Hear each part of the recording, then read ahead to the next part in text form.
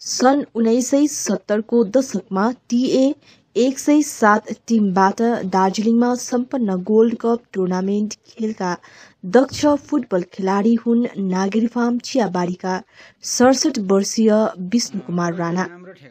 भारत नेपालका विभिन्न स्थानमा सम्पन्न टुर्नामेन्टमा आफ्नो उत्कृष्ट प्रस्तुति दिएका राणाले सन् अस्सीदेखि सिक्किम स्टेट फुटबल एसोसिएसनमा आबद्ध रहेर चार वर्षसम्म राष्ट्रिय स्तरको टुर्नामेन्ट खेलेका थिए। प्रस्तुत छ तिनीसितको विशेष कुराकानी। मेरो नाम विष्णु कुमार राणा हो। मेरो नाम विष्णु कुमार राणा हो। म नागरी फ्रम चियाबारीमा बस्दछु। अहिले कति भयो तपाईँको उमेर? अहिले मेरो उमेर भयो सिक्सटी एट। अडसट्ठी वर्ष पुग्नु भयो है। र सुन्नुहोस् न हामीले अब सानैदेखि सुन्दै आएको है तपाईँ आफ्नो समयको एकजना दक्ष फुटबल खेलाडी हुनुहुन्थ्यो भनेर हामीले सुनेको छौँ र हिजो आज तपाईँ एउटा ओझेलमा पढ्दै जानुभएको छ है। एउटा मतलब पूर्व फुटबल खेलाडी हो भन्ने कुरो सायद धेर थोरलाई थाहा नहुनसक्छ है। यो विषयमा अलिकति भनिदिनुहोस् न तपाईँ कुन टिमबाट खेल्नुहुन्थ्यो कहाँसम्म पुग्नुभयो यो कुराहरू अलिकति। पहिले म एक सौ साठी-मा थिएँ। हजुर। त्यहाँबाट म दुई वर्ष खेलेँ। त्यहाँबाट कति ट्रेनिङ गरेर आएर त्यहाँबाट चाहिँ म सेभेन्टी फाइभमा दार्जिलिङ डिस्ट्रिक्टमा म बसेँ। दार्जिलिङ डिस्ट्रिक्टमा मलाई चोइस गरियो सेलेक्सन गरियो। म सेभेन्टी फाइभमा Darjeeling gold cup first time Darjeeling gold कपमा राखेको थियो। त्यो गोल्ड कप म फर्स्ट टाइम खेलेँ त्यहाँनिर चाहिँ। अँ, 75 कुन सालदेखि चाहिँ तपाईँ फुटबल खेल्न थाल्नु भएको हो। सानैदेखि खेलेको फुटबल त तर अब मेन ठुलो लेभलमा चाहिँ सेभेन्टी थ्रीदेखि चाहिँ म खेल्दै आएको। फुटबल खेल्नुको निम्ति तपाईँ एक सौ साठी त्यस पछाडि दार्जिलिङको टिमबाट गोल्ड कप खेलेको भन्नुभयो है। कुन कुन ठाउँहरूमा चाहिँ तपाईँले फुटबल खेल्नुभयो? दार्जिलिङबाट डिस्ट्रिक्ट दार्जिलिङ डिस्ट्रिक्टबाट नेपालमा खेलियो। हजुर। महेन्द्र क्ल महेन्द्र ट्रफी। हजुर। त्यो सेभेन्टी सिक्सको कुरो हो सेभेन्टी सिक्स सेभेन्टी फाइभ त्यहाँबाट दार्जिलिङ डिस्ट्रिक्टबाट यो गोथल्सहरूमा खेलियो। हजुर। गोथल्समा पनि खेलियो त्यहाँ त्यहाँ हामीले जित्यौँ पनि। त्यहाँबाट अरू पुलिस टिमबाट के हो यो सिलगढी। आइएफए खेल्नु गइयो पुलिस टिमबाट। र तपाईँ फुटबल खेललाई लिएर एउटा राष्ट्रिय स्तरसम्म पुग्नुभयो है।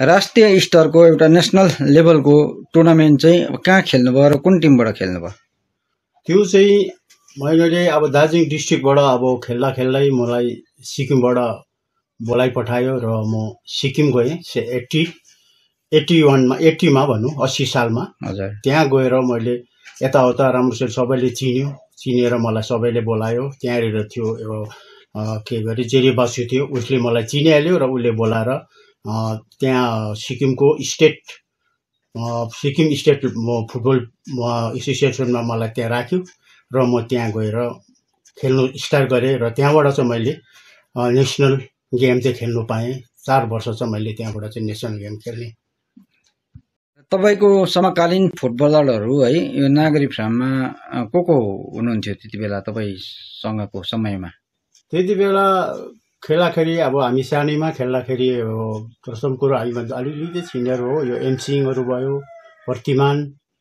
अनि त्यहाँदेखि हिराबहादुर अरू ऊ त डेट हुनुभयो हिराबहादुरै थियो हजुर यो तल मणि कुमार त्यो पनि मऱ्यो हजुर अन्त अरू थुप्रैहरू थियो त्यसमा त अनि तपाईँले फुटबल खेल्नु कहिलेदेखि छोड्नुभयो अथवा फुटबल खेलबाट कहिलेदेखि चाहिँ सन्यास लिनुभयो म फुटबल छोडेको चालिस वर्षदेखि चाहिँ मैले फुटबल छोडिदिएको। अनि तपाईँ एकजना दक्ष फुटबल खेलाडी हुनुहुन्छ है यो ठाउँमा तपाईँलाई त्यस्तो सम्वर्धनाहरू जनाउने कामहरू भएको छ?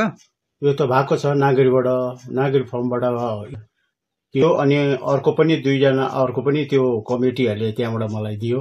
दुईवटाबाट चाहिँ मैले पाउन सकेँ सम्मान सम्मान पत्र चाहिँ। अब खेल्नुमा त बहुत साह्रो थियो। हजुर। अँ, खेल्नुमा प त स्ट्यामिना चाहिन्थ्यो। हजुर।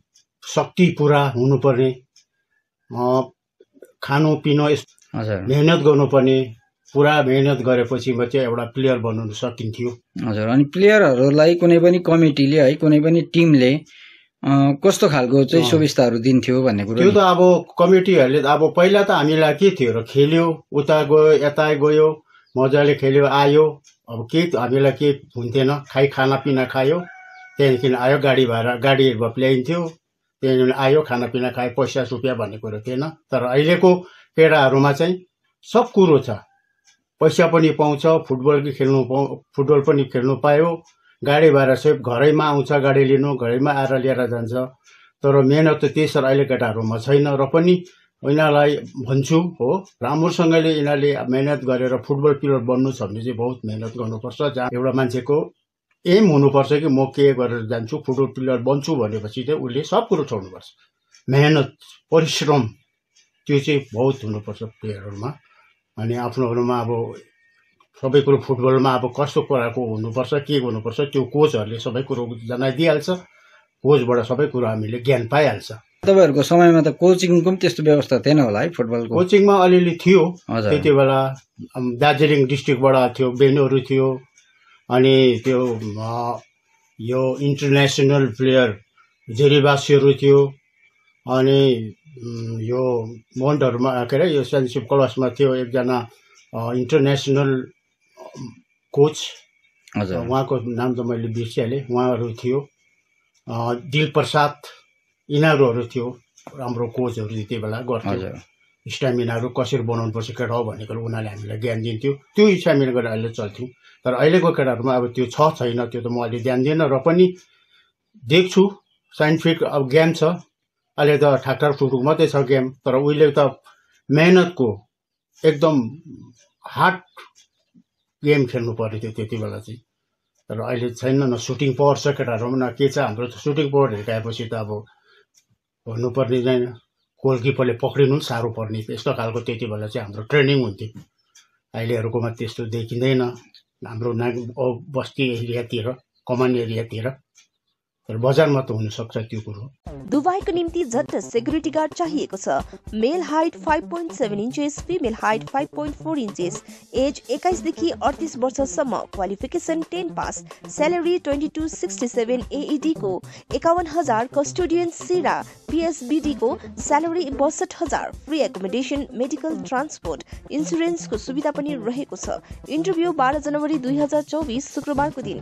Future vision consultancy near ISKCON मन्दिर सिलगढीमा सम्पर्क nine eight double zero eight double six eight double five एकदमै सजिलो वा युनिक टेक्निकको साथमा नानीहरूलाई आफ्नो पढाइमा सफल बनाउनमा फिजिक्सवाला भारतको सहरी र ग्रामीण दुवै क्षेत्रका विद्यार्थीहरूलाई एनइटी वा जेई को परीक्षामा मद्दत गर्दछ। यदि तपाईँ पनि आफ्नो नानीहरूको निम्ति एक विशेषज्ञ खोजिरहनु भएको छ भने आउनुहोस् तेस्रो तला स्काई बिल्डिङ पानी ट्याङ्की मोड सिलगढीमा र एनरोल गर्नुहोस् जेई र एनइटी को ब्याचहरूमा जहाँ तपाईँले पाउनुहुनेछ पच्चिस प्रतिशतसम्मको आकर्षक छुट। अधिक जानकारीको निम्ति सम्पर्क गर्नुहोस् शून्य सात तिन एक चार आठ पाँच शून्य एक तिन एक।